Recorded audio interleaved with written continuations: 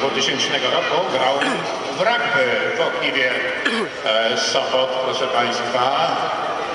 Więc myślę, że, że też jest fajne. Pilot Paweł Sujkowski 8 marca będzie obchodził kolejne swoją rodzinę.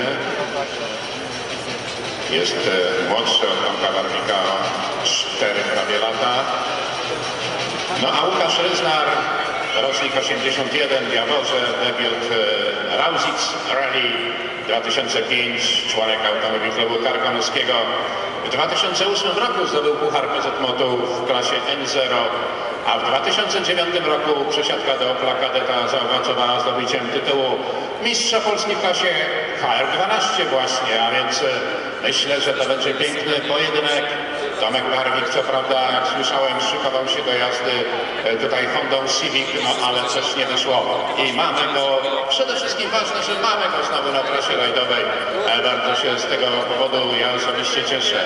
A więc e, numer 39, raz jeszcze Łukasz Ryznar, z Jachną Stankiewicz i 38 Tomasz Barwik, Paweł Szujkowski.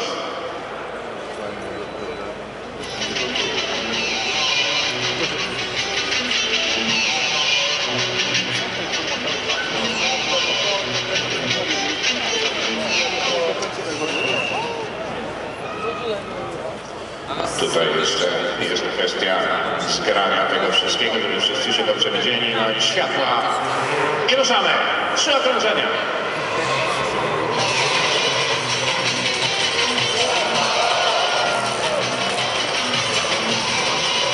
Mamy kłopotów Tomka Barwika.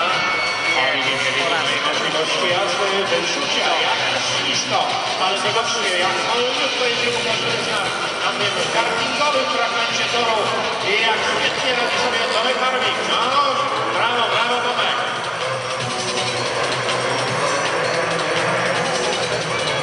To komu ustąpi miejsce na beczce, jestem bardzo ciekaw. Tomek musi poczekać, zobaczcie, on musi poczekać, bo nie może wjechać. Jagna machnęła do niego ręką, przeprosiła, że jedziemy tak wolno, no ale Tomek się pewnie nie podniewa. No i teraz rozpędzili się rywale. Tomek Barwik musi kontrolować ten przejazd. Zobaczcie jak pięknie chodzą te małe auta. No i teraz już Łukasz Ryznar dużo szybciej, bardzo efektownie prawie, no. Może troszkę za mała moc, качки дня.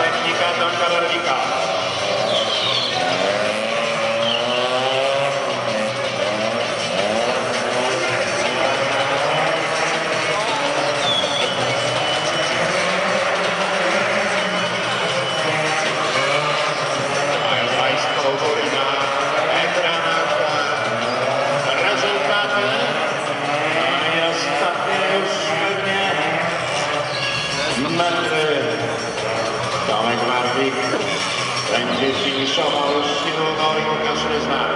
Łukasz y, ładnie szybko tę drugą część rywalizacji pojechał.